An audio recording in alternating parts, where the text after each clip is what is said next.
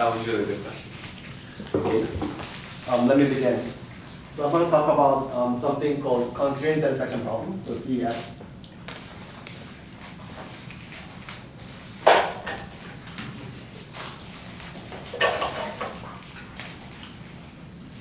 CSP. Hey, will you, can you just move it somewhere closer? Okay. I was getting it. So can I put it in here? Yeah, uh-huh. So CSP, um, so CSP is not just a single problem, it's a class of problems, and it is parameterized by two things. So first one is an integer k, integer k, and the second one is a something called predicate p, which is a subset of f2 to the k. So in this talk, I'm going to talk about Boolean CSP, so like each variable can take a value either 0 or 1. So given these two things, so I'm going to call the problem called max CSP, which is parameterized by um, p. So this is now one problem. So its input is the input is a n, which is a number of variables. And then it's gonna have a set of constraints, C, um, M constraints, where each CI, each constraint CI consists of a subset or like tuple of k variables, Si and Vi. So Si is a tuple of k variables. So I'm just going to assume that each variable is indexed by an integer between 1 and n. And each vi, it's called shift, shift vector. It is it's just a vector in f2 to the k. And this is an input and output. We need to output um, assignment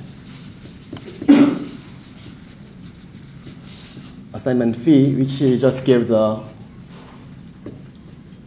0 or 1 to every variable. And what are we trying to maximize? For the objective, um, I'm going to say that for each constraint C, so I'm going to drop this subscript here. So each constraint C, I'm going to say C is satisfied when, so let me call that S has a k variables, so S1 to Sk, and V is a k dimensional vector, so let me just call like V1 through Vk. So given um, an assignment, I'm gonna say like this constraint C is satisfied when when this thing happens.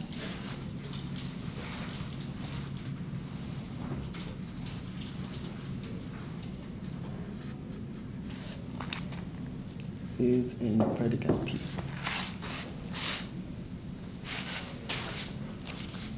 So this is the basic definition of CSP, and then we want to try, um, we want to find them, the assignment and maximizes the number of satisfied constraints. Okay, and then I'm gonna, um, and then, so given an instance, I'm gonna call opt to be the maximum value, um, normalize so that its maximum is always one, and then its minimum is zero. So this is kind of like very abstract definition of CSP. And then let me give an example. So one um, probably famous example is a max k SAT. So in this definition, so given for fixed k, so p is uh, everything, everything except all zero vector. So such that so given a like given a formula that has a goes like something like this, then this um, clause can be represented as a constraint where um, SV, where S is a 1, 2, 3, because it has a x1, x2, x3. And then v is a 0, 1, 0, which means that we're gonna flip the value of the second variable and then, then we're gonna apply p. So this is our first example. And then second example is a max k xor. Here, apparently, so p is a set of vectors such that their sum is zero. Okay, so um, here this means that the sum over f2. And then, so using this definition, so let me, this linear equation can be encoded as a same way, SV, where S is uh, still 1, 2, 3. But V, um, can have like multiple values. There are many choices. So V can, v can be 0, 1, 0, 0, or like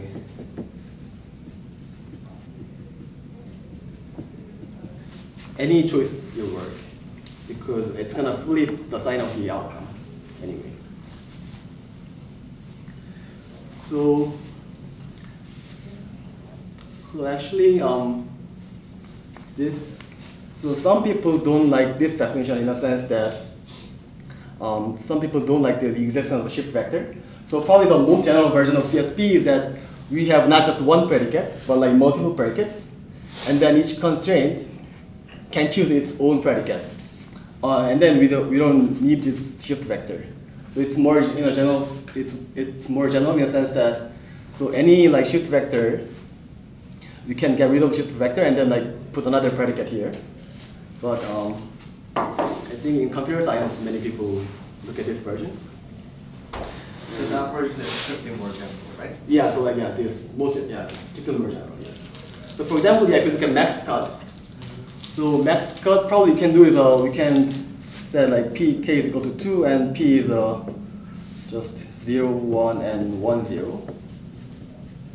So definitely if you use this, then, then the resulting problem is, uh, is some generalization of max cut, but it's not like exactly max cut.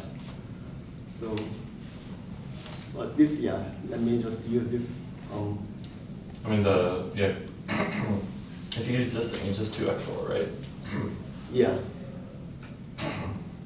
So why did you say it was a generalization of max cut? Um, in a sense that like, yeah, so if you look at this problem and then you don't, you always take like shift vector to be all zero, then you get exactly max cut. Okay. But if you use the shift vector, then it's, it's a slightly more generalization of a max cut problem. Okay, so that's the definition of um, CSP, and then so I think the um, one of very interesting question is that for fixed k, so what's the what's the approximation ratio for any any CSP with um, uh, where predicate is uh, contained in F2 to. So what's the worst case approximation ratio that holds for any CSP with um, K arity K? So um, so I think for every CSP, for every max CSP, there's a like very um, trivial approximation algorithm which assigns every value, every variable uh, value between value um, zero or one, we probably have. And then so the trivially. So and then this strategy will satisfy every constraint with probability um, size of p divided by two to the k. so this is a trivial algorithm. So we know that at least there is a 1 over 2 to the k approximation. Sounds um, very pessimistic. But uh, like um, another algorithm is uh, due to Charikar and Makarychev and Makarychev. They show that for any KCSP, whatever the p is, we can get C times K divided by 2 to the K approximation. So C is a universal constant. It's around 0.44. So this is, uh, I think this is currently the best approximation algorithm for any KCSP. And then, so this is from algorithm side, and then we want to say that this is essentially the optimal. So this is our goal. And, and Is that algorithm very complicated or? um, it just uses a basic, ba- basic SDP relaxation and then somehow uses a rounding algorithm, but rounding algorithm is a, um, yeah, some, involves some like non-trivial calculations. So um, before introducing hardness result, result, uh, let me introduce um, three definitions. So our first defi- definition says that it's definition about predicates. So first definition says that P is pairwise independent.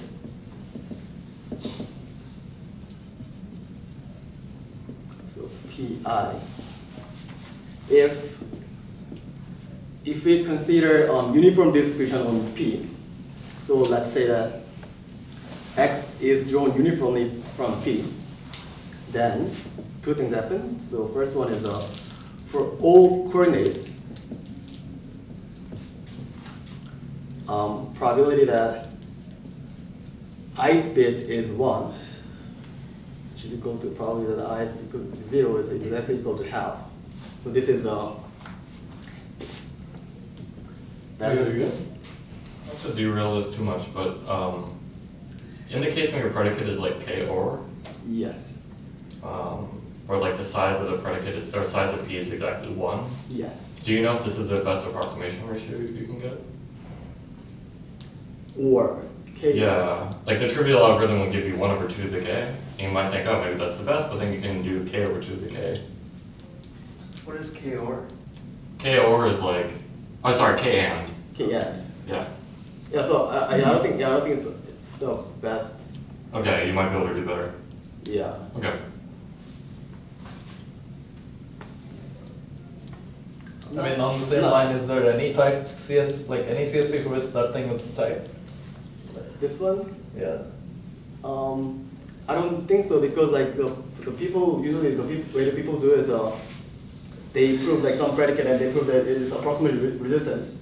Um, I'm gonna define it later, but this uh, real number doesn't usually appear in that context. Probably yeah, if you wanna do this, then probably you want to take a real CSP and then like prove hardness without being approximation resistant, right? I don't think people actually match this constant. So I think, yeah, I think and so what they did was like they so they reduced every CSP to max n without loss of generality because you can like break the predicate to into like many copies of n. So I think n is a kind of like worst, the hardest case. And then so like in even in this definition, I'm slightly lying in the sense that usually like when they say like when people say P supports pairwise independent distribution, it means that there exists a pairwise independent distribution whose support is included in P. But I'm gonna just define this for simplicity. So anyway, so so first condition is this, and the second condition is that for any two coordinates,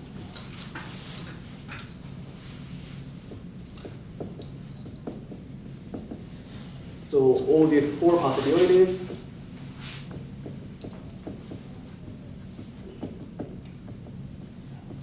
Happens probably one form. So this is a definition of pairwise independence. And then the second definition is called pairwise. So if pairwise independent subgroup. So pairwise independent subgroup. When P is pairwise independent. And so P as a subset of F2 to the K is subgroup. So by subgroup, I mean that it's just closed under the addition. So this is a pairwise independent subgroup. And then third definition I'm gonna say is uh, Sorry, uh, this P is some kind of distribution, it's not the predicate. um, so so yeah I, I assume that so when I talk about these definitions um, we only we always consider the uniform distribution of P. And P is like a set. Yeah, P is like a set, but I'm gonna if when we did when we think about these definitions we are always thinking that uniform distribution of P. And then, so third definition is a, so P has a dual distance, at least three. So what I mean is that, so P, this definition says that P is first of all subgroup. Probably I'm gonna also like call it subspace as well. And then if P is a subgroup, then we can define P orthogonal to be the um, vectors such that inner product between x and y for all y's in P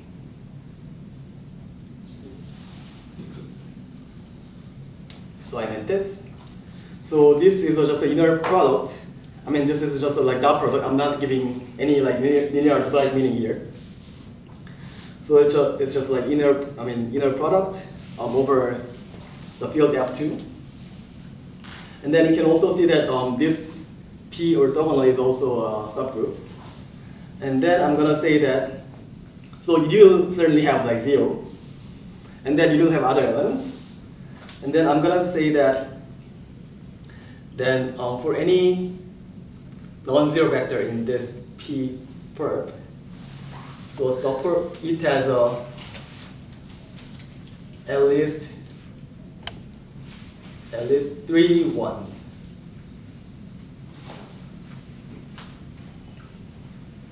So yeah, so if you're familiar with the um, coding theory, so this this is a linear code, and this is a minimum distance.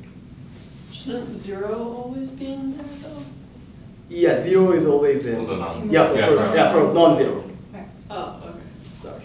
Wait, so this is, sorry, P has dual distance at least two? Three. Three. Three. Yes. Oh, okay.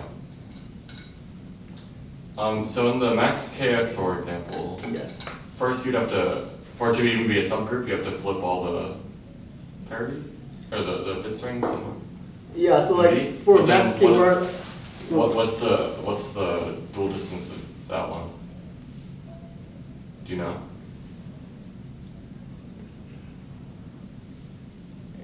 I guess it's uh. Like this KF, yeah, so you, you have to negate them all because none of these are, this is not subgroup itself, P.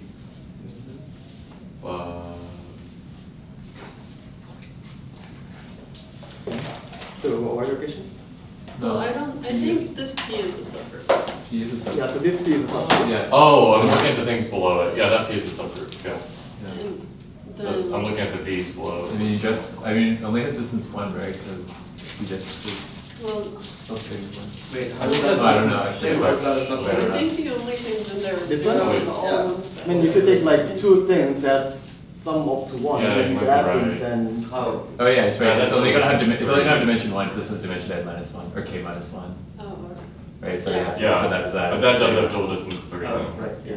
Mhm. Well, K is three. And then, and then, yeah, Yeah, or if K, Gotcha. K is three. yeah. Okay, we're It has good. dual distance k in general. Okay, so like yeah, so it's uh, so I introduced like three definitions, and then um, it is not hard to see like two implies one, for sure, and and it's not hard to see that like three also implies two. So, so why is it called dual distance? Because over F2 the perp space is the same as the dual, I mean like the perp set is the same as the dual set or something? Yes, it's uh, like linear algebraically, it's kind of like orthogonal space, Okay. and Like, I mean, my question was why wouldn't you call it perpendicular distance? But I guess, like, I think P, P perpendicular is the same as P dual over F2. Yeah, uh, yeah, other way. Because it can't be probably, anything yeah, else. probably it's like originating from like coding theory, so probably we should ask another advisor. Yeah, dual distance sounds better too. Come on, perpendicular this. Sounds terrible. No, it's, I I mean, you get the sounds alliteration here. Yeah, dual. And then I think so. So these um, three definitions are actually strict containment. So there's like something that belongs here that belongs here that doesn't belong here, and so on. But I think so. Even in the Boolean case, in in F2 case, I think there is a strict separation between one and two. But I don't know whether there is a strict separation between two and three. So probably it might not separate it. So I'm gonna assume so I'm gonna I'm gonna assume like three and two, which is just three, and then use whatever property. Um, Two implies pairwise independence? Because it's part of the definition. Yeah, it's right. It's it's a subgroup and pairwise independence. Oh, okay. A and B applies B. That's very clever of you. So the reason I introduced like these three definitions is that I want to introduce like one like nice predicate. So this. So I'm gonna show like one predicate which is uh, actually is belongs to all three categories. So let's say that. So I'm gonna construct a matrix H, H of L. So this is a matrix. Um, I should say zero and one. And it's a two to the L by two to the L matrix. It's a like large matrix. And its its row and column are both indexed by um, L dimensional vector. So its row is uh, indexed by some vector, and then y is uh, indexed by some vector, L dimensional vector. And then the entry of yx is the inner product of y and x. So this is a matrix. So it's like 2TL by 2TL matrix. So if you look at this matrix, then um, if you look at the first column and first row, which corresponds to the vectors, zero vectors, then we know that all these are zero. And then you're gonna fill up the rest of the rest of the table. And then one nice property of this, I mean, three nice properties of this matrix is that it's asymmetric.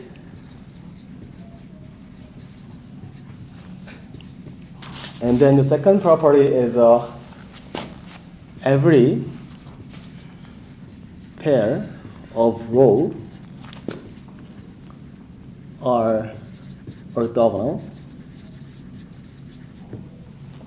Again, in F2 sense. So from this, what we know is that if you look at, let me, yeah, let me just focus on actually column. So if you look at the first column, and then like every other column is orthogonal to first column, means that, so every other column will have a exactly half ones and half zeros. No. Sorry. No. Sorry, sorry. Okay. Orthogonal. Well, it is true, it only have one of zeros, but. Yeah, yeah. That doesn't help. So, yeah, it is. Uh, yeah, actually, this matrix was defined as like plus one minus one matrix, and then actually the orthogonal was uh, over R. Well, yeah, let me just say that then actually like each column will have a half ones and half zeros, and then if you look at two um, columns, then um, You just want that if you add two columns, that it's some zeros? Yeah. If you, Or if if you, you add if you sum, if you sum them, they have an even number Yeah, of ones then, remaining. or equal number of zeros and ones is what you're looking for, right? yes. And then yeah, if you look at the two. If you sum two columns? Yeah. Well, yeah, yeah, okay. And then if you look at two like columns, then they will agree in exactly half of the positions. Which is, the- yeah, exactly Wait, the no, when you same. sum two things, don't you want the all one? Pardon? When When you sum two things, don't you want the all one for the No. pair on top one? You want No, you- basically You want them to agree in half the position, Yeah, so the sum of them, yeah. they, they agree if their sum is zero and disagree if their sum is one. Oh, oh, I see, because you take the sum of, all. Yeah, sorry. I should, yeah. Okay, sorry. Sorry, what did you just say? So if you, if you sum two numbers in F two, mm-hmm. they agree if their sum is zero, they disagree if their sum is one. So what's happening here, you sum two columns, half the, half the numbers you get are zeros, But half the of them inner are one. product, it's an inner product, right? So you're taking the product first and then you're summing. Uh, ignore the word inner Yeah, yeah, product, that's- pretend that he never wrote that. Um, the inner product makes sense when it's over plus one minus one. But I think that statement should be true as well, right? But like, it's kind of meaningless, you know, I can inner product everything with the all zeros vector. Um, but that's not really what he's asking for, I think. So I think so. This He's asking for the, you know, what you kind of want is that they they look pairwise independent, actually. yeah. Okay. Okay, So, I, I believe Is this that. statement This statement I agree with. Yeah. So every pair of the rows or every pair of columns should agree in exactly like half of the positions. Then you know that if you look at any column, then it will have like half ones and half zeros. And then if you look at this, even if you look at like two columns, then you will see like quarter of like zero zero, quarter of half one one, and so on. So and then, and then third one, it is um, close under addition. This one is over F2, I guess. The rows are closed on addition. Yes, because uh, the way we constructed this. So it has its three nice properties. And then, so with these things, we can say that it belongs to, oh, I, I haven't defined P yet. So then P, so we're going to define P. And suppose that um, K, so say, say k is something between 2 to the l minus 1 and strictly less than 2 to the l. So we want to construct a good predicate p for this value k. And then the way we are going to do is uh, we are going to take a last k columns, k columns of this portion. And then so let me this um, call the, this submatrix as H prime. And then, so P is uh, simply rows of H prime.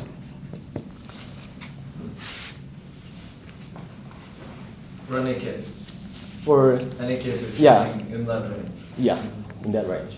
So we can't take the, the first column because it's like all zeros, so it, it's violating this pairwise independent condition, but otherwise, as long as we are um, taking everything except one, then you're fine. So you can also check that this also satisfies number two there.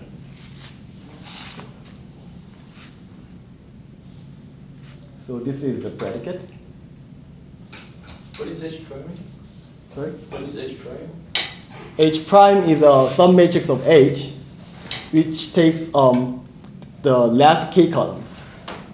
So it's a it's a two to the L by k matrix. So, yeah, just so I understand, so the arity of this predicate is k, and it correspond, the, the, the rows of h prime have size k. Mm-hmm. And you're going to get two to the L, all, you're always gonna get two to the L different accepting assignments. Yes. Um, but since you're truncating, could it be the case that some of them are the same? Um, it's not because like if it any two rows, um, we'll agree on exactly half of the positions, and then like you're the, at least like not taking the first one. Yeah, So Well, that's why you need k at least two to the l minus one. is- yeah, Yeah. that's kind of yeah, that's kind of easy. So in reality, I think, I mean, like a similar example would be you're fine with like any matrix with orthogonal columns that also satisfy like exactly half ones and zeros in each. Yeah, yeah, yeah. So that's what um, like makes a difference between pairs independence and pairs independence subgroup. So I think like if you just for one pairs independence, then you don't need to have like then actually like for other values of L, you should not necessarily power of two. We can have that matrices as well. So so that actually gives a like better hardness for assuming unique games or like for other things. But I think like in order to subgroup properly, actually this is the for the, the only one in this region. So yeah, so if um, yeah, so like if k is uh, like power of two minus one, then like size of p is uh, k plus one, and if um, k is ex- exactly power of two, then uh, size of p is uh, two k. So normally, like people, when people say like they have a like hardness approximation over like hardness of approximation of vector like 2k divided by 2 to the k, this is for that reason.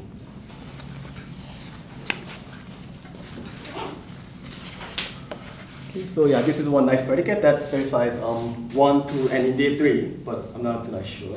So this would, yeah, so you just said sometimes it can prove hardness of approximation factors that are two K over two to the K? Yeah, actually, And that yeah, looks similar to CMM, except does, do you know the constant that CMM gets? It's not Like, two? yeah it's like Oh, did you write somewhere? 0.44. Oh, zero point four four. Oh, Yeah. okay, okay.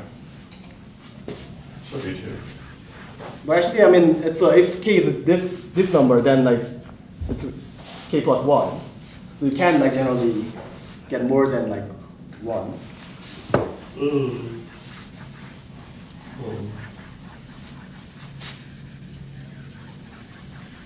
Yeah. So I think so. Yeah. If you assume unique games, then actually like we, we're gonna have a like much nicer matrix than that, than this, and then like this one will give you that. So then actually we can always uh, take the predicate p such that size of p is at most k plus 4 or something. So I think like 1 is closer, but I don't know like between like 1 and zero point four. Yeah. Okay, so yeah, given these definitions, I'm gonna actually like um, do another definitions. Sorry, so I'm a little confused. So if I truncate at some point and I add two columns, can't I get the all zeros? Um, actually, it's like but but the predicate is the rows of h prime. Oh, oh, sorry, yeah, yeah, sorry.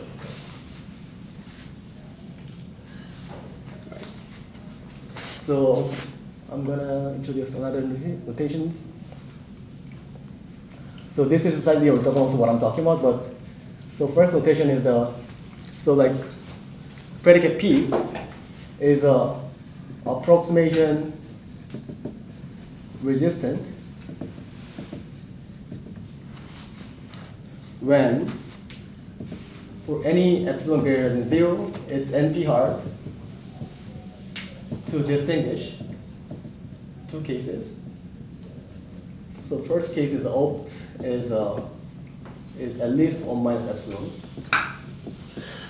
and second case is is at most the trivial approximation ratio plus epsilon.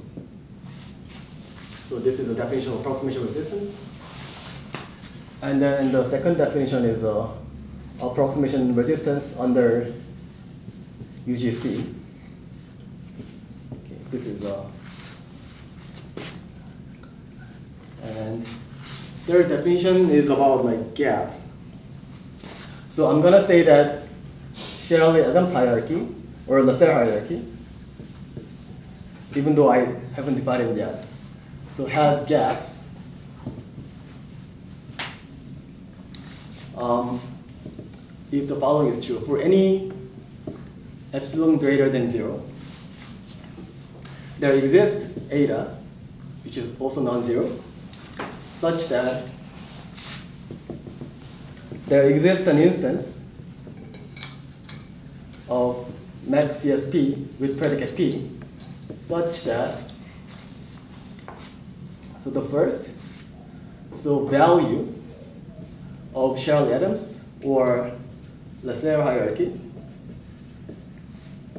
is one even after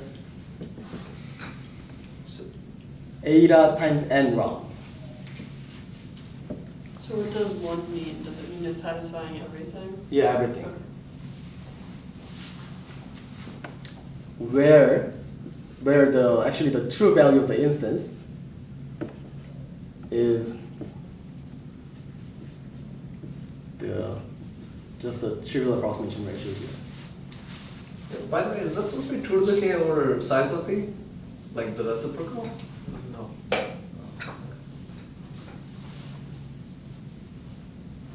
So the so actually it's like very strong sense Yeah, I know. because like I want to construct a gap after linear number of rounds.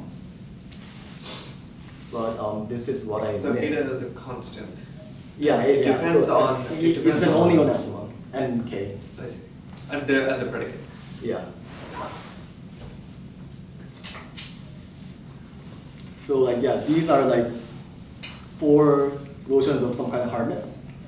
So this is just NP hardness, and then this is a hardness um, assuming unique games conjecture, and then these two things are hardness for some um, restricted computation models, which is convex hierarchies. So if I, um, so with these notions of predicates and notions of hardness, I'm gonna finally draw the table.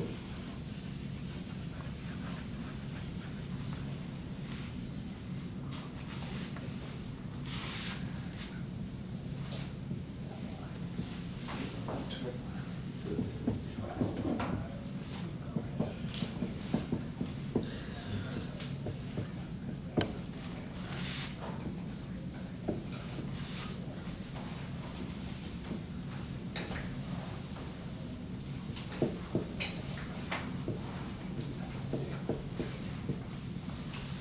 So I think people believe that like whenever P um, is pairwise independent, the problem is extremely hard.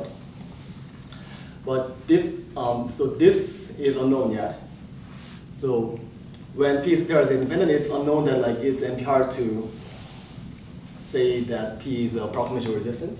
But all the other things are filled. Let me do it in chronological way. So so Austrin and Mossel first proved that if like P is independent, then it's assuming unique games, it's hard to approximate. It's approximation resistant. And then in the same year, um, these guys proved that if P um, is independent, there's also oh, sorry.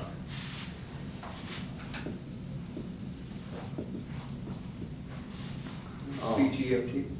Um, Benabbas, Georgiou, Magen, and Tulsiani.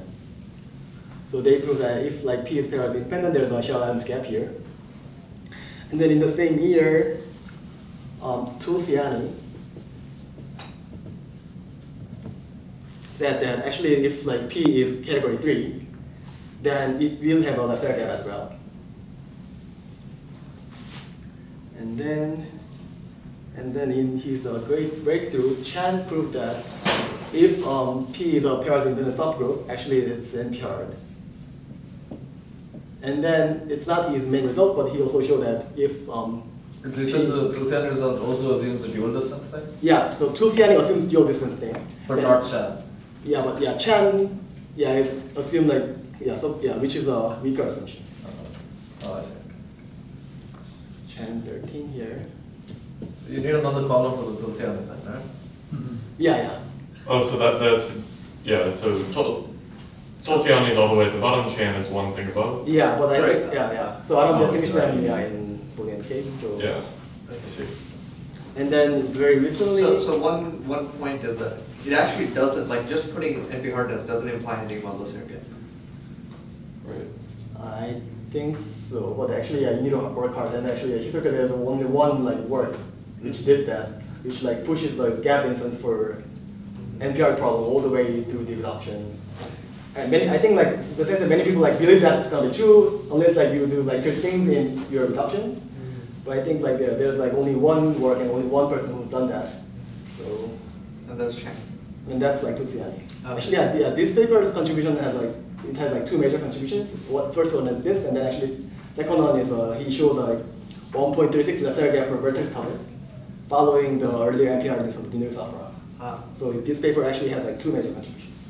Did you have to go to like every step of Dinur Safra I haven't read that, but I don't, I don't think he did this then other yeah.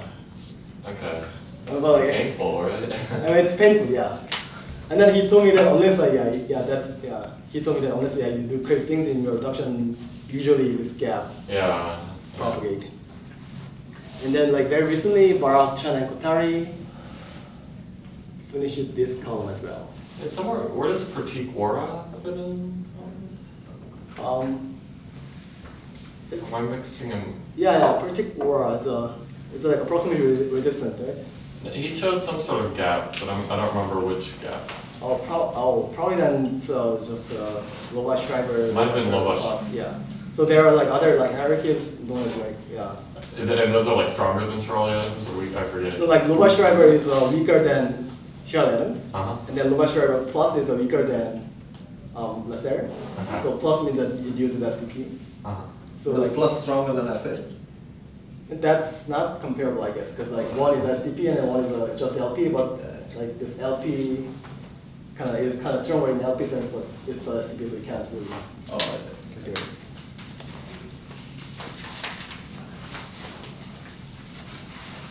So these are these are.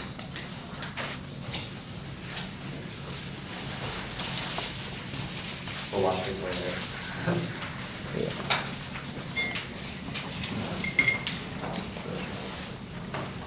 I see you. Yeah.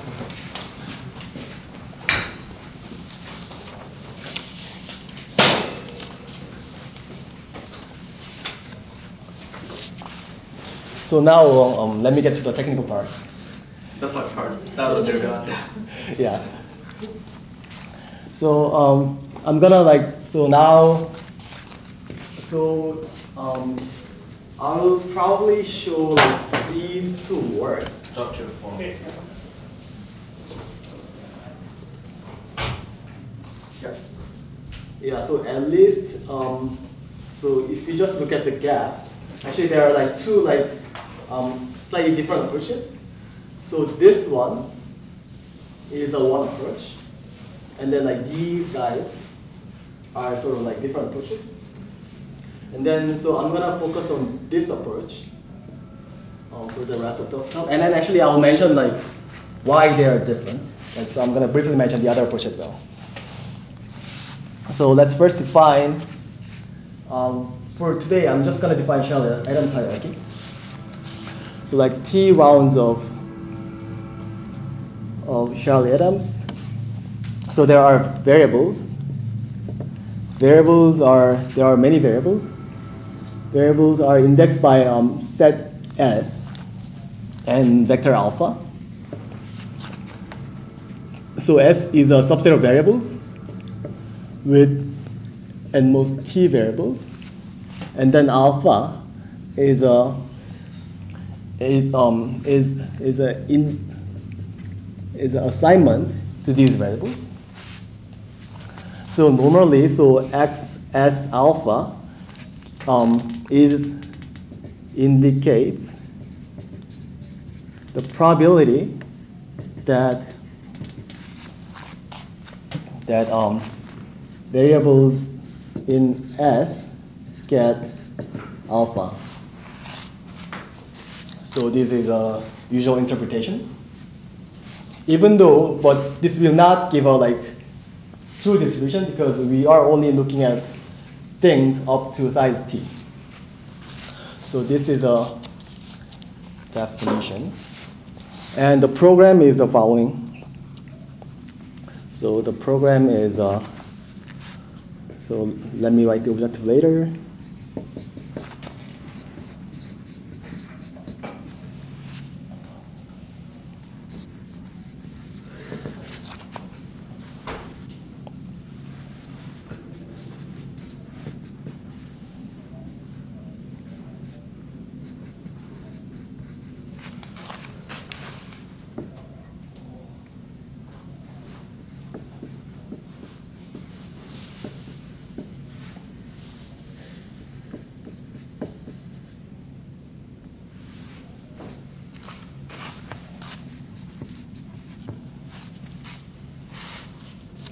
So these are the constraints. It just means that, so the x of empty set is just one.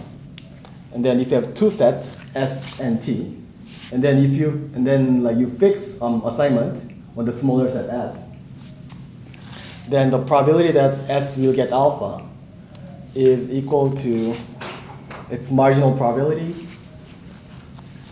um, given from the larger set T.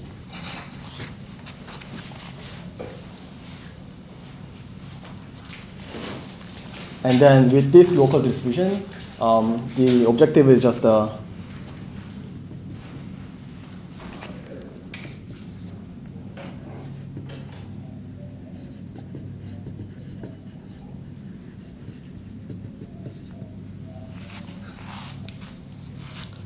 So given an instance, um, recall that um, each constraint Ci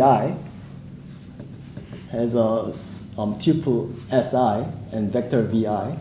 So I just found this um, objective kind of, like very un- unintuitive, but um, it's just saying that for any constraint, look at the local distribution um, for the variables it, it contains, and then some of the probability that it will be satisfied.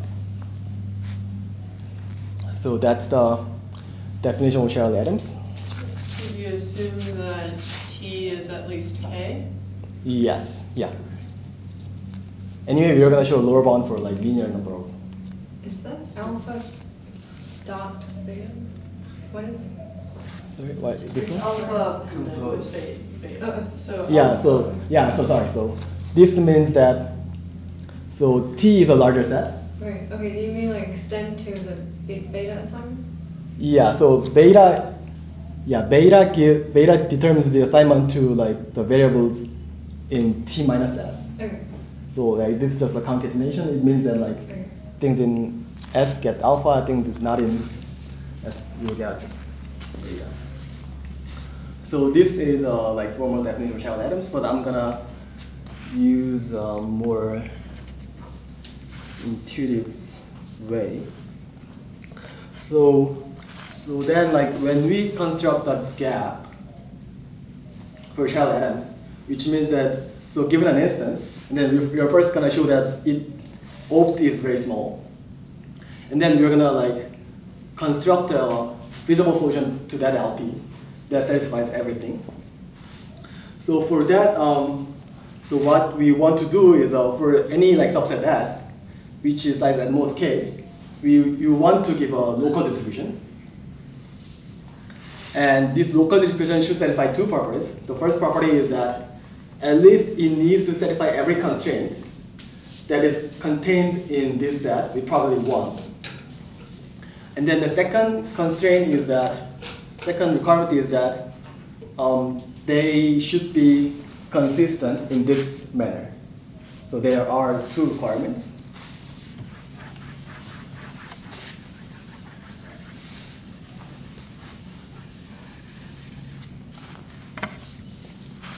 So my first attempt is that um, given any like small subset S, I'm gonna look at I'm gonna look given S.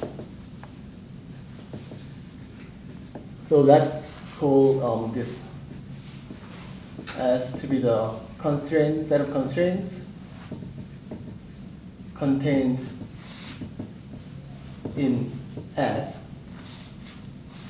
And then, so if you look at just um, these constraints contained in S, then you will have uh, several um, assignments to S that satisfy every constraint contained in S. And then my first attempt is that, so H of S is uh, X satisfies S. And then my first attempt is uh, for S um, to for its local distribution. Um, just give a uniform distribution on H of S. So that's my first try, and then it will like surely satisfy the property one. But it will violate the local consistency property by this example. So this example, I'm gonna look at k is 4, and then we are looking at 4 XOR. So we have only two constraints, like that look like this. So x1, x2, x3, x4, 5, 6, and 7. And then we have only um, two constraints, but our S looks like this. So it doesn't contain any constraint, strictly. So this is our S. Then um, if we follow my first strategy, then it will give a like uniform distribution on every assignment of these six variables. But but at least we know that to satisfy all these constraints, even though like it doesn't um, contain any distribution, we at least know that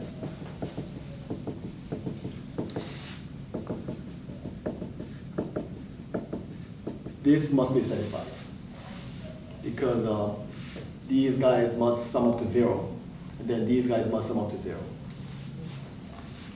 So this is a this is a problematic example for the my naive strategy.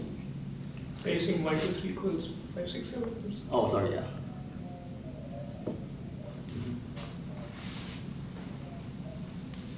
So actually, and then like there are two ways to fix this.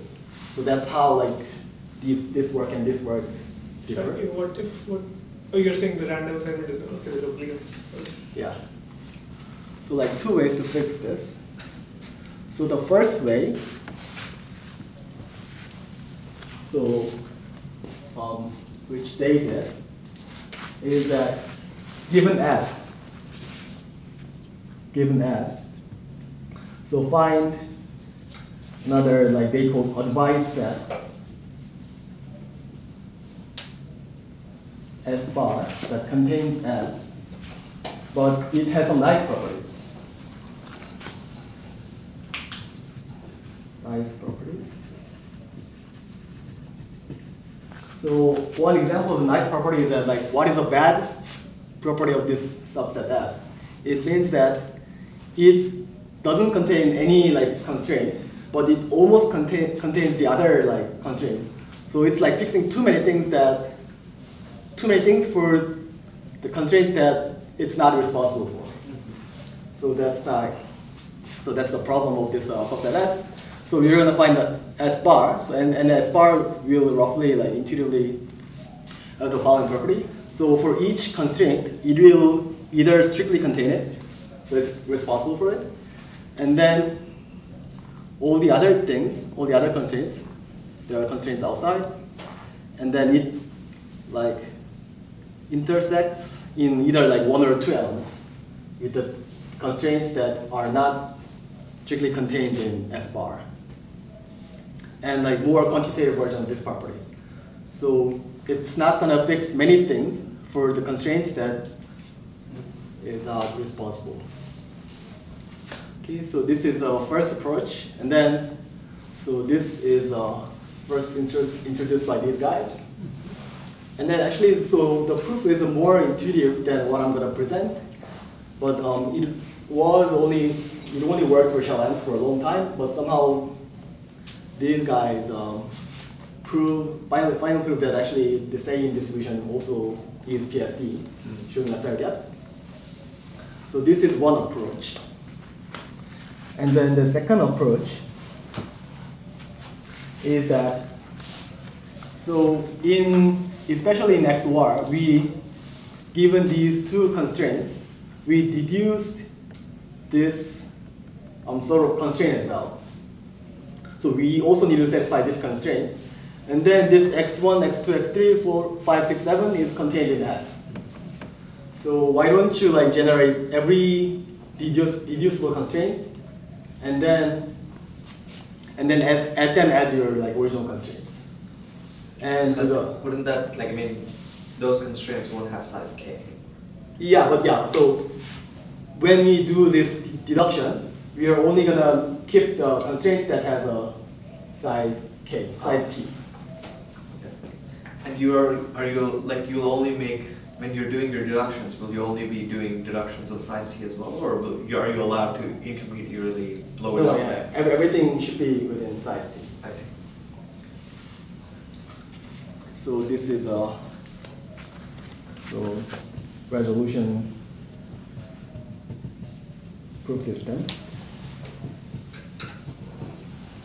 Yeah, this is somewhat related to what David talked about um, previously. And then I'm gonna use this one.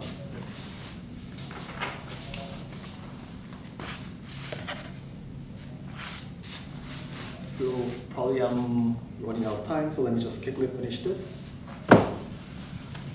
Well, whatever you don't finish this time, we can just continue. Okay, sure. Yeah.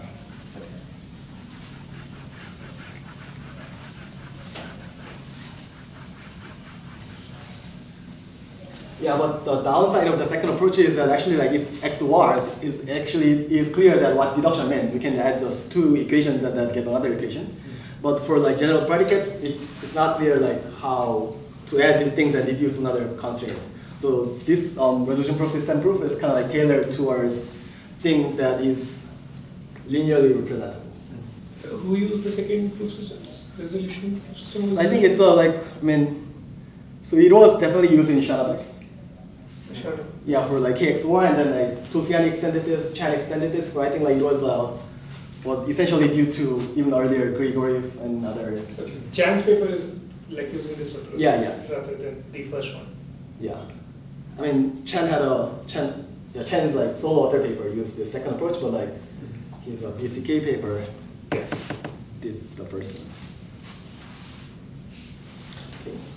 So I'm just quickly gonna say, so given a predicate P, so I'm gonna now assume that it has a, um, it is a subgroup with um, pairwise independence.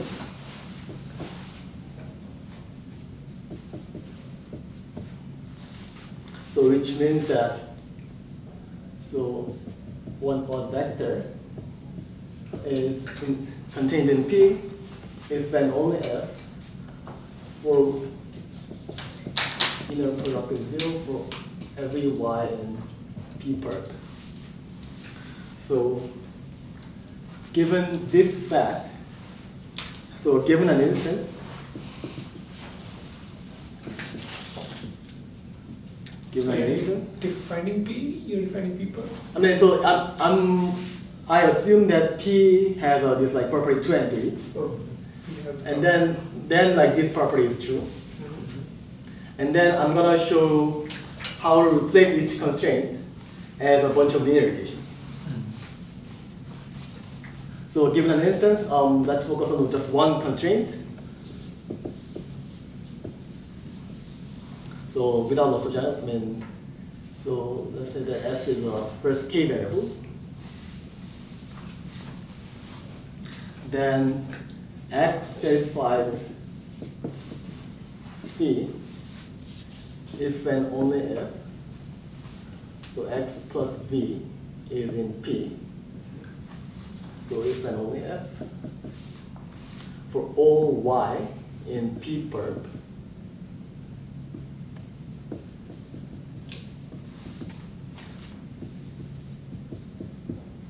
That's a linear system. Yeah.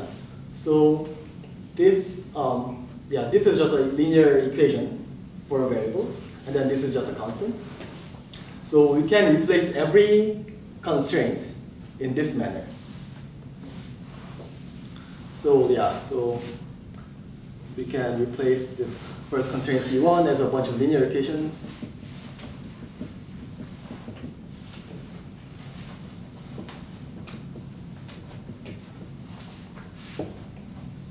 And then we can do for everything. Now, let um, large phi be the set of equations.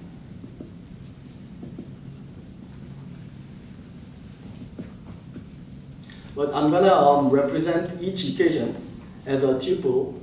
So each equation is a tuple S, Y. So Y is just a bit, right hand side. And then for left hand side, I'm gonna represent it as a just a subset. So in this example, S is 3 and 5, and then Y is 1. Then so I'm gonna represent each equation as a, this tuple to simplify the notation. And then, so what resolution proof system, so given this initial set of equations, what resolution proof system does is that, so it takes any two equation, take S, Y, and T, Z, and then, then it's gonna add as symmetric difference T. So we are just simply adding two equations. and y plus z to add to phi as long as size of this set is still at most t. So that's the resolution proof system with, with t. So we are gonna do this and then we are gonna, and then we say that um, we refute this instance when we see this contradictory statement in large P.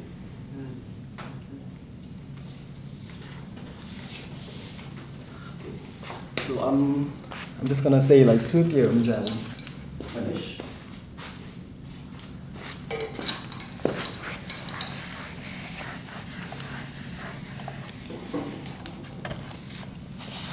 So the first theorem says that for any epsilon greater than zero, there is eta such that such that there is an instance where opt is still very small and it cannot be refuted by resolution proof system with with eta n. So the second theorem says that if if um, it cannot be refuted by resolution proof system with with eta n, then there is this uh, then value of even Lasserre hierarchy with eta n over two rounds is one.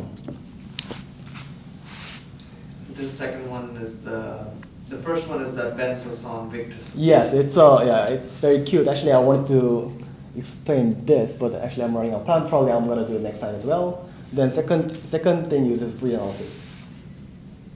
Wait, so the Lasserre gap is just by reduction from that? No, it's a and if you combine this with first and second, Yeah. then like you're gonna get an instance where the opt is small and then the value of Lasserre is one. Oh, uh, But if this, so where, so the second analysis you said was, the second theorem was by BCK. Um, it's originally by Schoenebeck or even earlier. This So- idea. What did BCK do? They, they proved it The BCK was yeah BCK was uh, like BCK followed this other approach, right? Oh, I see, they took an advice set. Yeah, they took an advice set and then I see, but the, the novelty is that they were able to do it for pairwise independence. yes. And this first thing assumes the group, subgroup, and the third problem. Yeah, so yeah, I yeah, see. this resolution proof system, I assume that everything is linearized and then everything can ah, be right. doesn't get very simple to okay. Great. These are two theorems, and then probably I'm going to show like some ideas how to prove these two theorems. Oh, nice. Great. Okay. Thank you.